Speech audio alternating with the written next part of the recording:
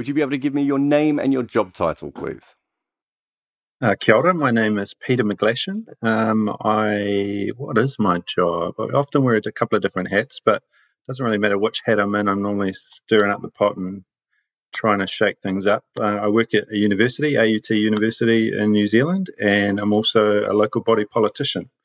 Um, yeah, being a cricketer with a thick skin from being sledged all my life has come in quite handy in politics. Well, I mean, I saw you fight, uh, you know, having a go at Tim Paine yesterday, but don't worry, we won't. Uh, I won't. I won't. Uh, I won't have, um, bring that one back up. Uh, There's a great about New Zealand story, so we should we should chat about that. He actually rocked up and he fronted up. So I, I missed it. You deleted the tweet. So what tweet did you send to Tim Paine? Oh, it was about. I mean, New Zealand had just won the World Test Championship for the first time. Um, you know, the whole of New Zealand was celebrating and Tim Paine, obviously, a few days before the World Championship final, had said, "Look, India are going to win this easy. They're going to win comfortably over the Black Caps." Um, and so, as you know, I got a bit carried away in the moment, and I and I tweeted uh, Tim Paine and said, um, you know, I tagged him and I said, "Is there any chance you'd be willing to come on the radio to talk about the um, COVID outbreak in New South Wales? Because New Zealand has had to go into lockdown because of all these filthy Australians that have come over as part of the bubble." Um, and having a bit of a dig. And to his credit, he, you know, went along with the joke and he said, "Yeah, I'm available anytime," which kind of called my bluff. Um, so I flicked him a, I followed him and he followed me, and I flicked him a direct message and I said, "Look, thanks so much for playing along, mate. Like, you know, sorry it was a bit cheeky, um, but you know, there's a few Kiwis that um, got a bit riled up about what he said." And he said, "Mate, no, no, no problem at all. Um, I'd be more than happy to come on the radio and eat some humble pie." So you know, I said to the guys at News Talk who had just been doing the broadcasting, look, the te- the Australian Test captain is actually willing to come on and, and eat some humble pie. So, um, yeah, so he came on New Zealand radio uh, only a couple of hours ago and uh, was really gracious and, and kind of gave a really fascinating insight into what Australia's attitudes was towards the final, the frustrations of having missed out on that final by a slow over rate and the penalty that came from it. Um, so yeah, he's a I'd heard that he was a good dude, and I'm sure he's won over some Kiwi hearts um, after fronting up, which was pretty cool.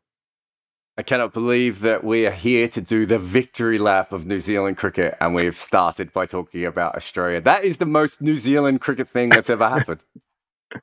oh, I mean, the victory lap, wow, it's taken a while to get here. And I think you know, everyone's appreciated here in New Zealand the, um, the piece that you did. I think it was on Cricinfo about you know, the journey to get here and yeah, there's been a lot of heartbreak being a New Zealand cricket fan for a long time, and it feels pretty good.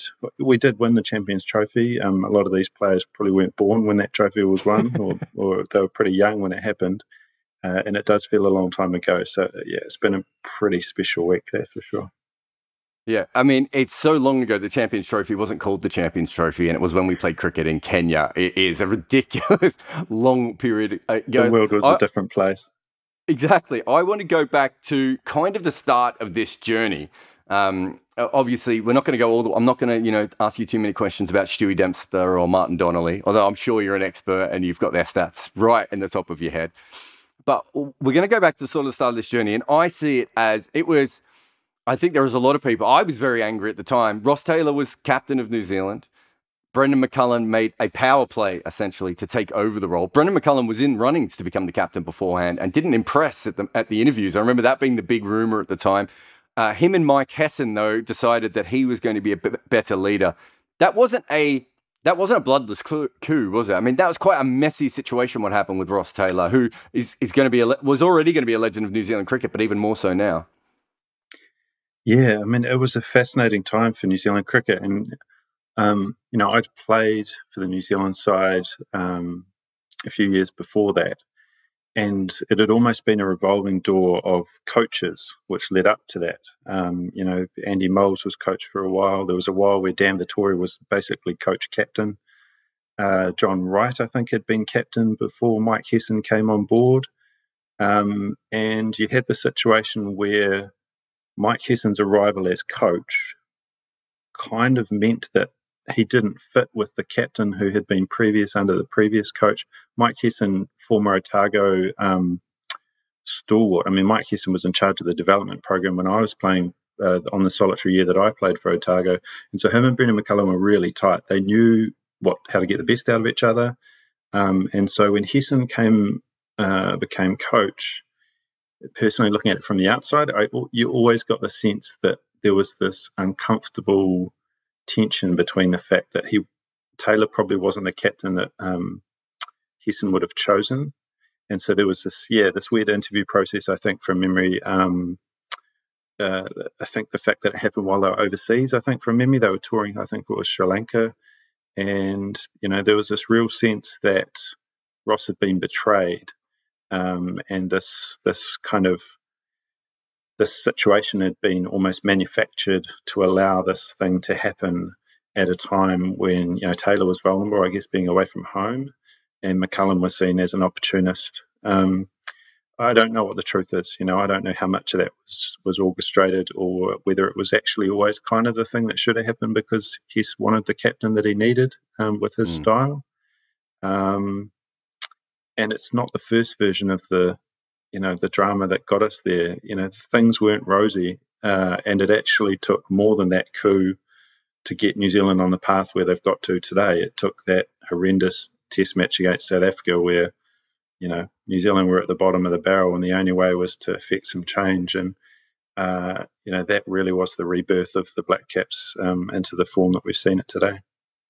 Yeah, I mean, it's sort of those, those two things sort of almost meld together at a certain point. But there's that little bit in the middle that isn't talked about much now, which is that Brendon McCullum kind of had to pull the players back from from franchise leagues and had to get players to recommit to New Zealand. Also, New Zealand cricket had to be quite honest and uh, and say, well, we're not going to be able to stop these players going to the IPL. Like a lot of little micro things happened around that.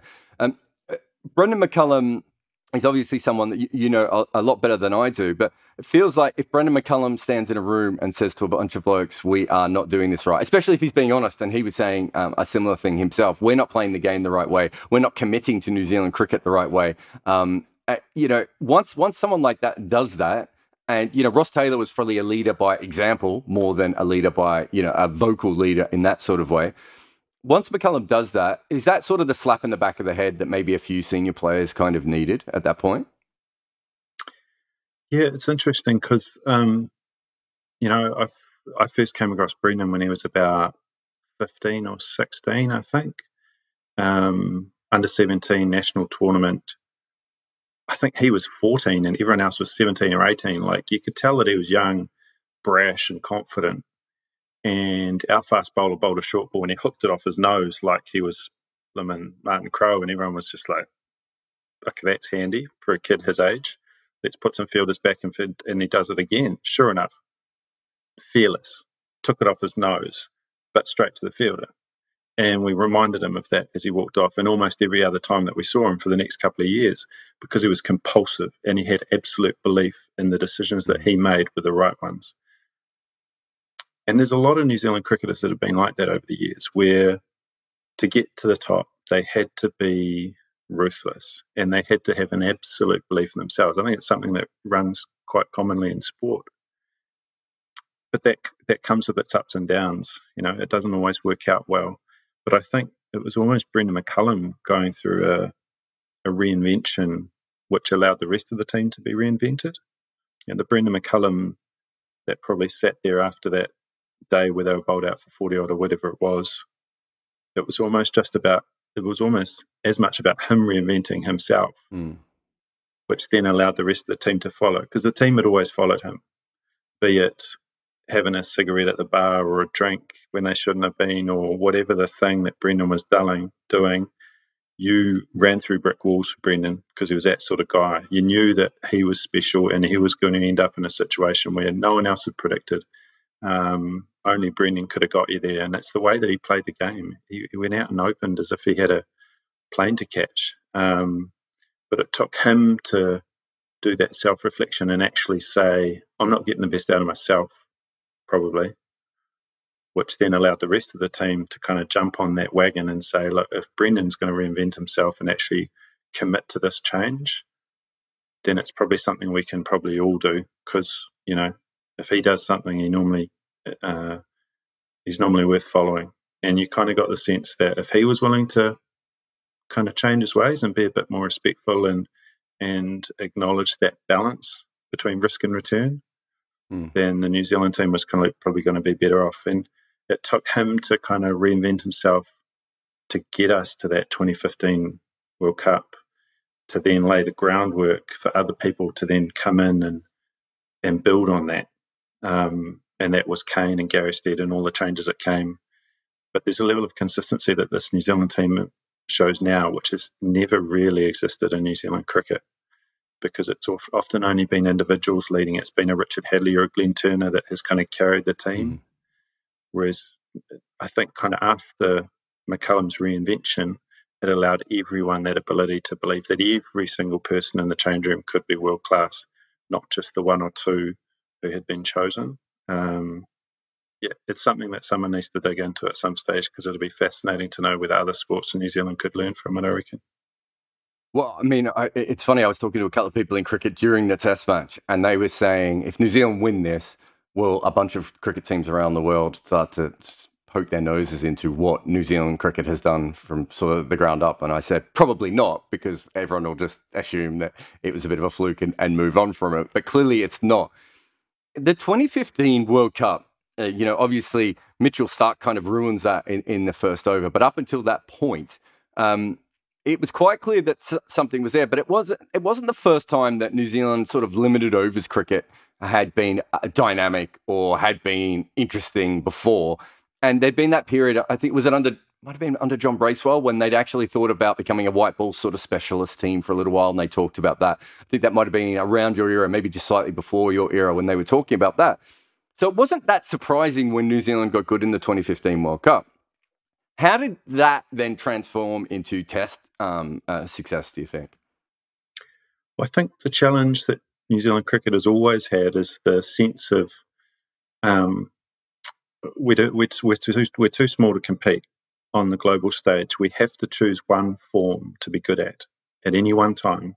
We couldn't possibly be good at all forms in the same kind of 12 to 24 month window. And so often when the New Zealand contracts were coming out, it would be a case of, right, we've got a World Cup next year. All the money, all the resources, all the training is going to go into getting that 50 over team ready. And then a couple of years later, there'd be nothing else on. And so it would be tests. And you'd think, oh, we've got a big tour to England coming up. All the money this year is going to go into the test players. And what that did is led to this real seesaw back and forth of talent and you can't keep those players. And Chris Martin's valuable this year, but he's not valuable next year. And you know, you'd have years where our, our test batting openers and our test bowlers would disappear off the radar because you just wouldn't see them at training camps. They'd be, you know, off in the back blocks of wherever practicing by themselves because the white ball was the, the priority for that kind of 24 month window. Um, but I think, again, going back to why that that change from McCullum was important. It became more about the values of New Zealand cricket in general, and it became about whatever forms we're playing, be it T20s or one days or tests. There's a New Zealand way now, rather than copying the Australians and being, you know, overtly aggressive or copying the, you know, another side with the type of player that they create.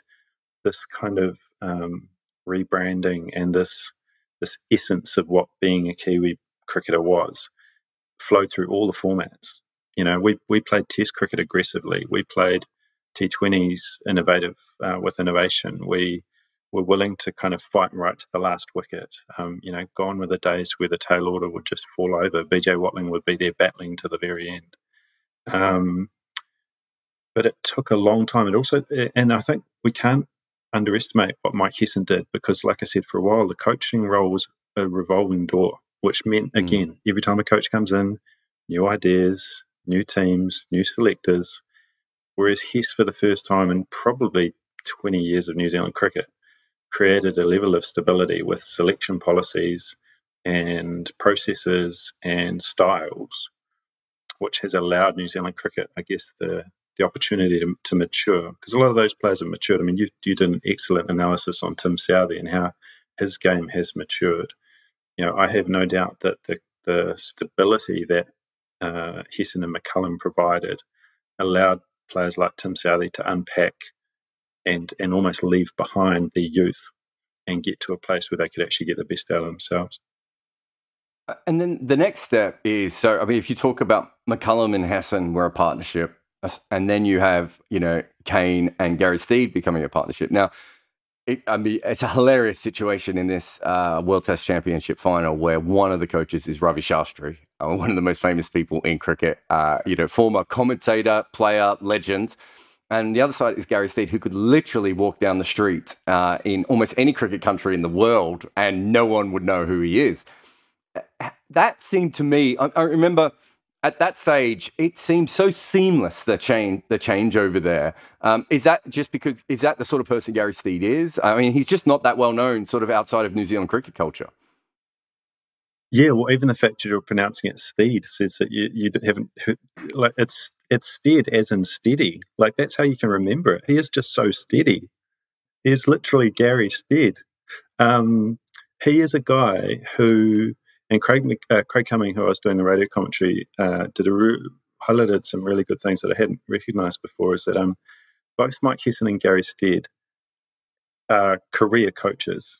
Um, yes, Gary Stead played for the New Zealand, played for the Black Caps, but actually he was, and um, you know, I'm going to put Craig's name at the bottom of this because he told me all this the other night.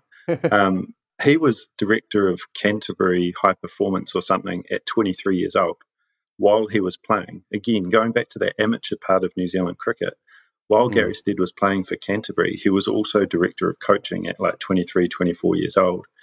Uh, Mike Hesson was the same. Mike Hesson, you know, um, didn't have, I'm not even sure, he might have played a couple of first class games, but he was a coach at a really young age, you know, and um, so both of them followed a very similar path. So it's really interesting that Hesson kind of got to the, to the Everest, you know, got to the top and then had this guy coming through underneath who with a very similar path. So as you see, that transition was very smooth. But Gary Stead has got to be one of the few guys in the world who has coached both the, the top men's and women's side.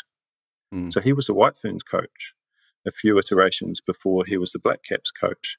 There's a level of kind of humility and um, and graciousness that comes from a guy who was willing to work his way up through the women's game first uh, he was a men's first class coach as well for, for the men uh, for Canterbury as well. But, you know, again, the fact that he was willing to put in all the hard yards in the women's game, which was severely under resourced in New Zealand and still is, uh, and then, you know, also work his way up through the Black Caps uh, New Zealand coaching system means that he's not a guy that walks in and demands the microphone and and you know wants to compete with Ravi Shastri on a on a name recognition or, or which one of them is more famous. He's steady. He is Gary Stead, and he just steady the ship. Kane Williamson, the captain, steady the coach. Uh, it's a, it's. I mean, you couldn't write it. I, I just thought when when New Zealanders were saying that that was uh, that was just the accent. I didn't realize that was actually how you pronounce his name. No, that's it. I mean that's the accent, but it's but it's yeah, it's um it's ridiculous, you know. Uh, but it's the stars have aligned for Mike Hesson to get the successful run that he did, and then a guy very similar to Mike Hesson to come in.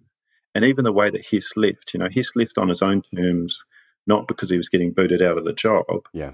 And so Gary Stead was faced with the choice: Do I come in and like really, you know, stamp my mark on this team and make sure that they know that I'm not Mike Hesson, I'm Gary Stead? But instead, he chose to just kind of work with the systems that were already in place, which didn't mean that there was a big kind of swing left or right from what the systems that have been so successful. And it has allowed them to build on the previous um, regime as opposed to dismantle it and try and rebuild it. So, yes, I mean, good fortune, luck, um, good planning. It's hard to know, but it's a pretty, yeah, it's done something that New Zealand's ever done before. So we're pretty happy about that. I think one of the other interesting things is, you know, Kane Williamson taking over the captain um, job. You know, he's, you know, probably taken over from Martin Crowe as the best uh, batter that New Zealand cricket has ever had. Uh, Martin Crowe was a genius of, with tactics, but obviously brought his own sort of, uh, you know, personality to it, uh, his own eccentricities. And I, you know, I could say that I knew Martin pretty well. Uh, I can't imagine what it would have been like to play under him at times. Uh, whereas Kane Williamson, if you didn't know he was a star player, you, you would probably think that he was the fifth batter picked in any side. Um, and it was maybe there because he bowled a little bit of part time spin. Uh, considering how famous he is in New Zealand um, and how even more famous he is in, in, places like India, nothing seems to ever affect him.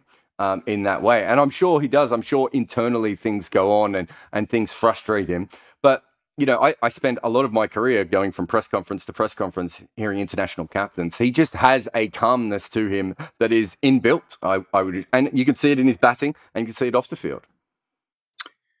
Yeah, Kane's um, he's a fascinating. I, I, mean, I feel like saying he's a fascinating kid because I, I, met him when he was thirteen or fourteen.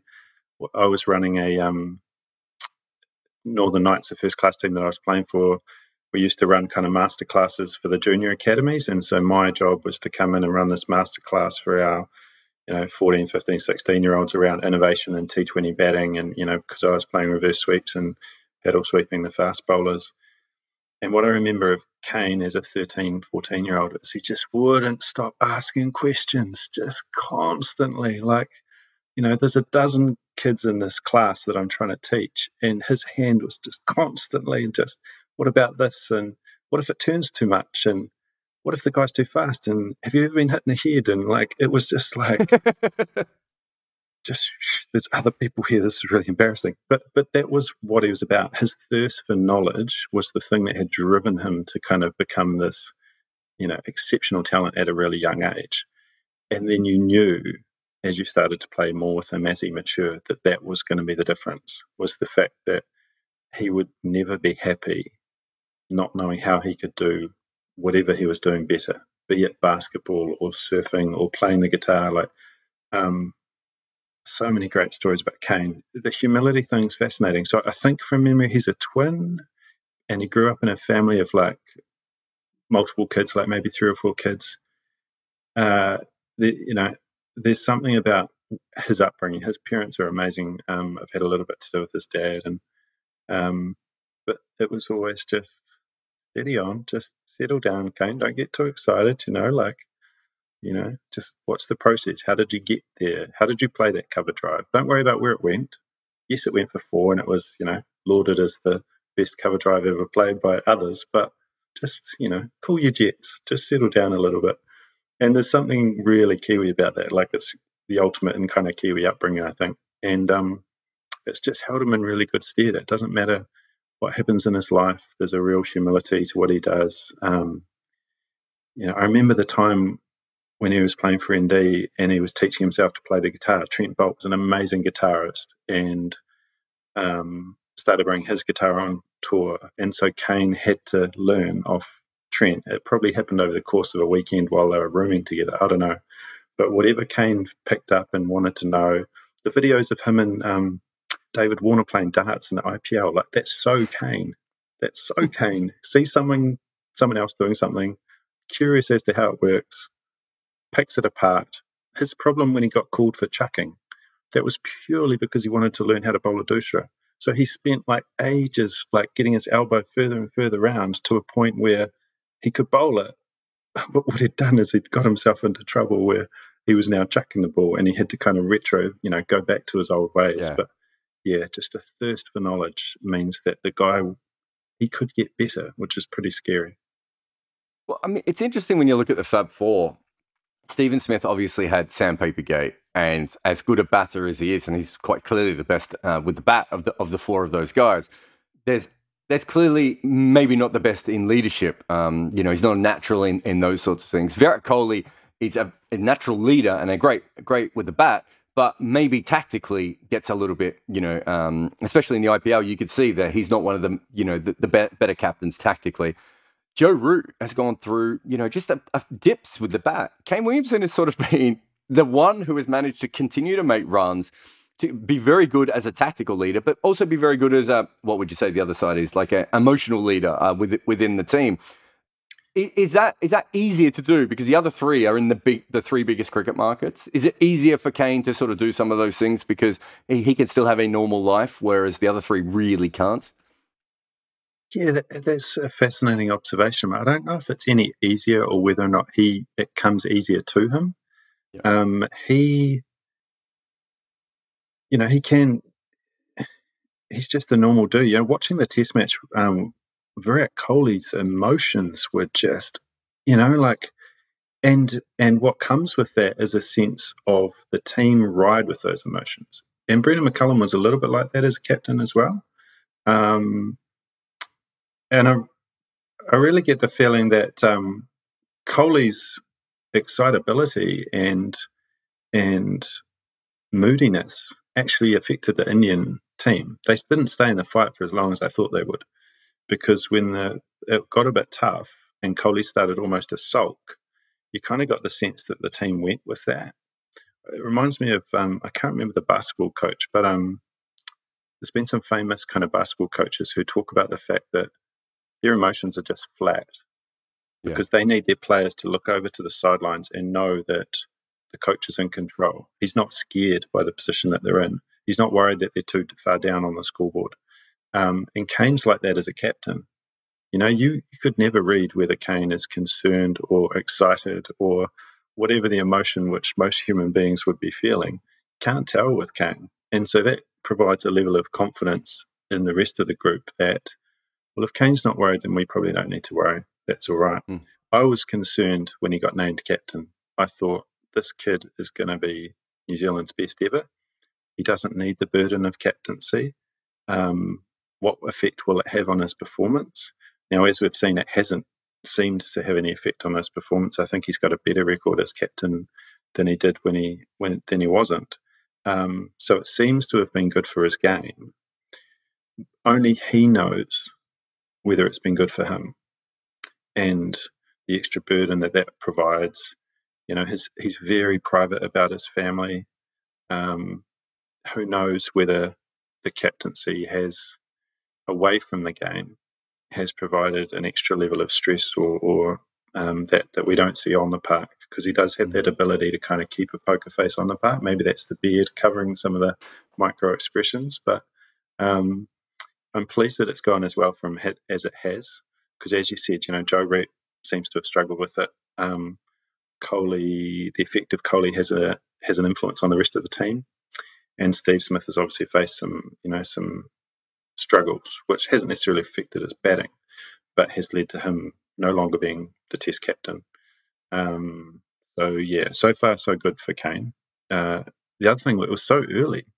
If you make him captain, then how long is he going to be captain for? You know, yeah. like he's probably got another eight or nine years left.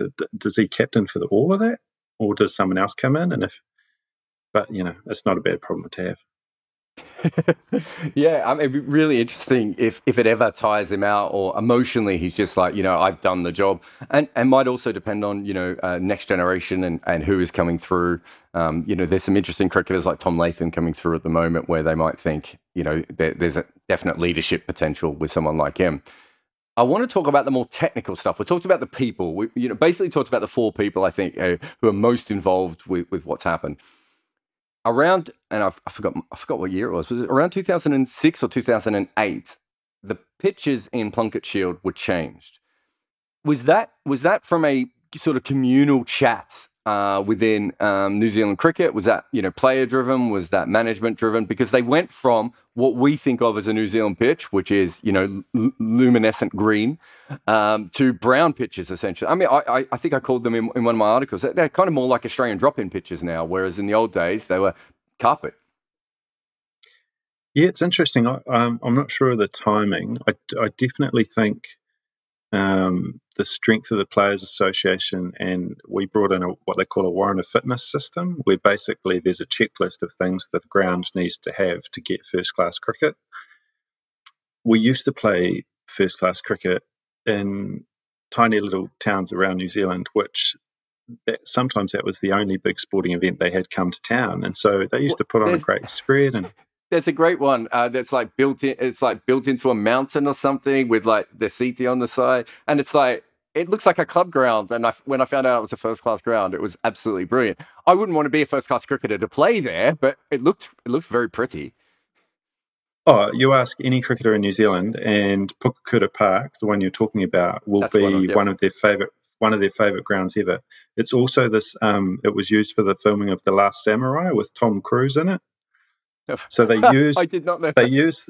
Yeah, yeah, yeah. So get out the Last Samurai, watch the Last Samurai, and you'll see all these battle scenes where the archers are preparing for battle, and it's on the cricket ground. Like they closed the cricket ground for like six or seven months while they filmed it.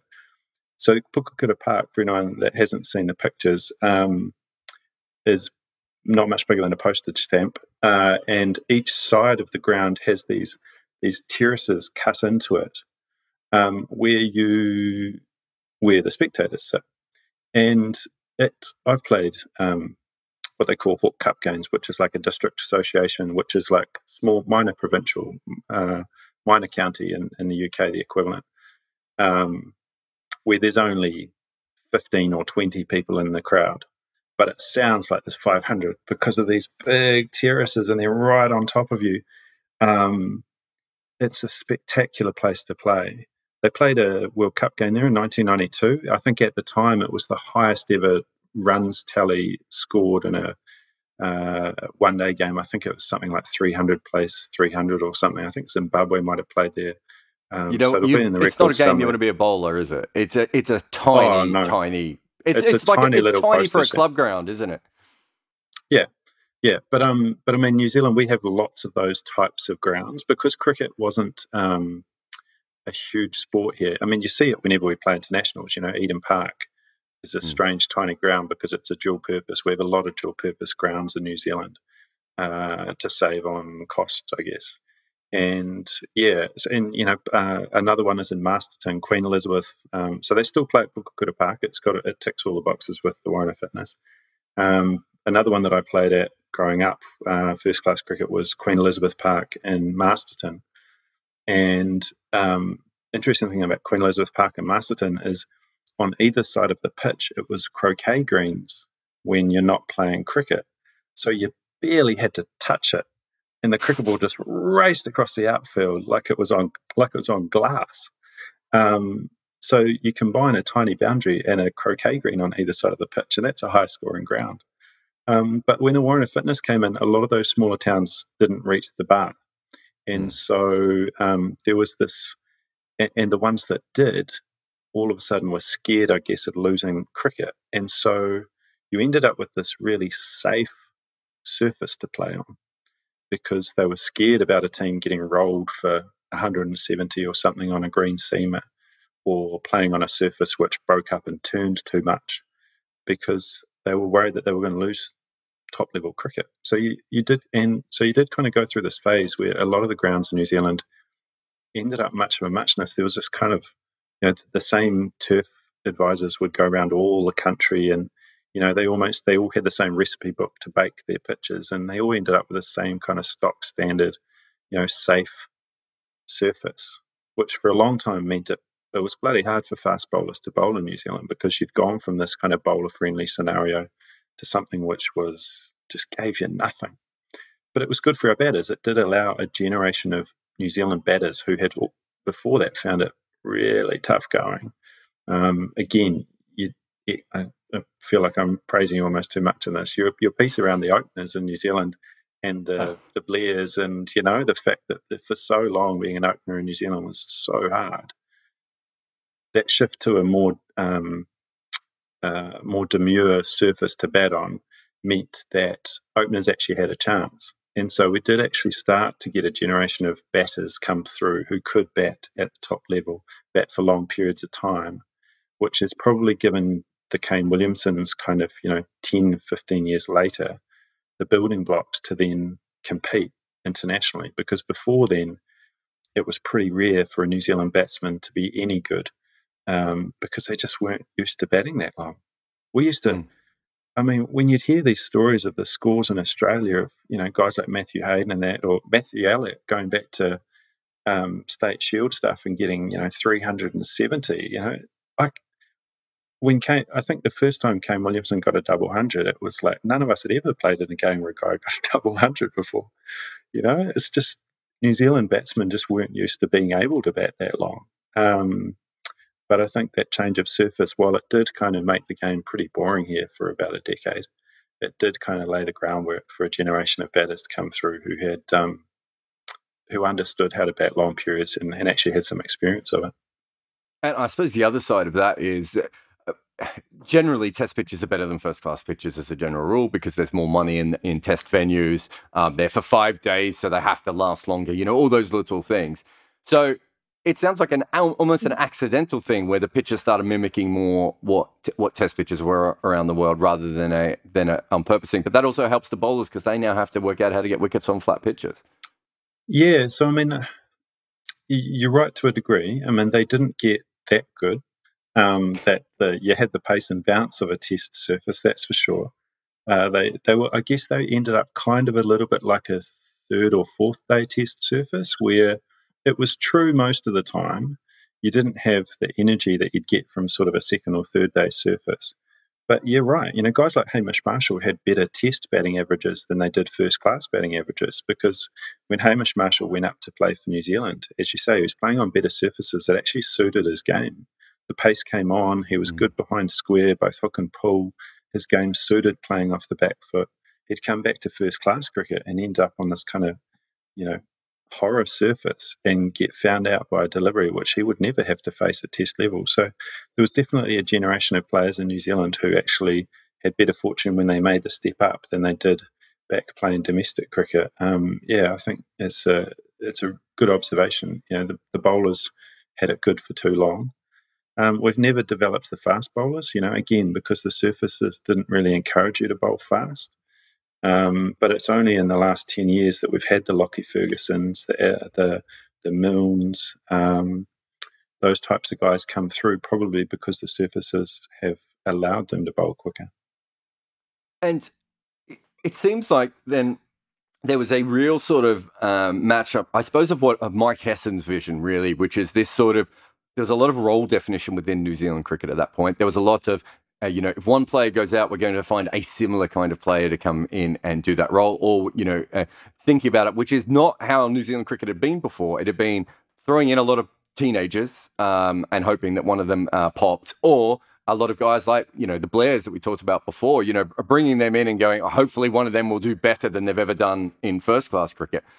Under Hesson, that, that really seemed to change. And then, you know, going coming forward, that, that has happened. How much of that is also involved with the stronger sort of uh, New Zealand A um, setup that there has been over the last couple of years. It seems like everyone is planning together for the first time in New Zealand cricket. Yeah, I think that's a good observation. Um, you know, definitely during my uh, time playing for New Zealand, you did get the sense that the selectors were always looking to find the next big talent, and they almost wanted to kind of front the press conference to say, "Look what I've discovered." I've discovered this player that no one else had seen coming. Um, yes, he's only 19 or 20, and Noah's track record isn't that great, but um, watch this space because he's going to be the next big thing. And so you had, again, revolving door of players where after very little first class experience, um, they'd get thrust to the front. Uh, the number of you know test openers that we've had, the number of wicket keepers that we've used. I mean, we had one tour um, the New Zealand A team was in India. We were in Chennai. Um, Gareth Hopkins and I were both in the team. Um, and then they named the Black Caps team during the Indian side, and we both got called up. Gareth, I was the Black Caps T20 keeper. Gareth Hopkins was the Black Caps ODI keeper. We were going to Sri Lanka to meet the Test team, where Reece Young was the Test keeper all the while Brendon McCullum was in the team as well. Um, and it wouldn't have surprised me actually if BJ Watling was maybe opening the batting in that test. So you had this situation where something like five out of the six domestic first class keepers in New Zealand were all in Sri Lanka. And we joked about the guy who hadn't made the trip because it's kind of like there's no wicket keepers left in New Zealand now. We're all here. We've all had a crack at the New Zealand stuff and it wasn't good for any of us. I mean, some of us, you know, did better than others financially out of it, but it, you know, it didn't it didn't help any of us to get kind of thrust in early or as a late replacement or under the proviso that you know you should really enjoy your time with the New Zealand team because you won't be here for long because you know that guy that you've replaced who was already the second string guy is um, coming back from injury this revolving door of talent didn't hasn't helped New Zealand cricket. There's a lot of people that have played for the Black Caps. Um, but I think Hesson brought in, as you say, a system of talent identification where and a and a belief as a coach that um, we've got to if we believe in that person, we've got to actually give them a chance to be successful. And that has meant that there's probably been you know a handful of players that played longer for New Zealand than you know the talkback callers would have wanted. Yeah. Um, you know, people have held on to spots where the people calling radio sport were baying for blood and change. And under Hesson, it was like, no, no, we're going to trust the process. Um, we don't think anyone else has done anything yet in domestic cricket to say that this isn't the person we should be using. And that allowed the rest of the team to kind of bond and build and perform to the point that you weren't carrying that person. In days gone by, the team was changed so much that when those players were still in the team, it really was a bit of a burden. But mm. because there was so much stability in the New Zealand team under Hesson, it didn't matter if one or two guys were having a bad day because the other guys were performing. And so you could paper over the cracks.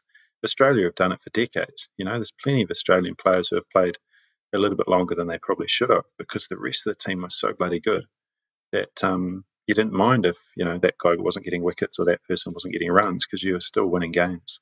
And that, I think, for me, was kind of the legacy that Hesson has built into this team. And as long as they can kind of hold on to that um, level of loyalty, um, it'll benefit those that are there and it'll probably benefit the performances of the team as a whole. And I suppose the other big change is that the overall level of talent got improved by the Southern African players coming in, and it's not just the guys who we know who were in the in the team. Like, um, I think I was I was writing about Obus Pienaar recently, who's an incredible talent from South Africa who didn't even make it um, through the New Zealand setup. So I know that there must be a lot of guys sort of at that level who came over who improved club cricket, who improved the you know first class and all that sort of stuff. That, that that is a big help, but that wouldn't have happened if you didn't have a professional setup for these guys to come over and, and have the opportunity to have a job as well.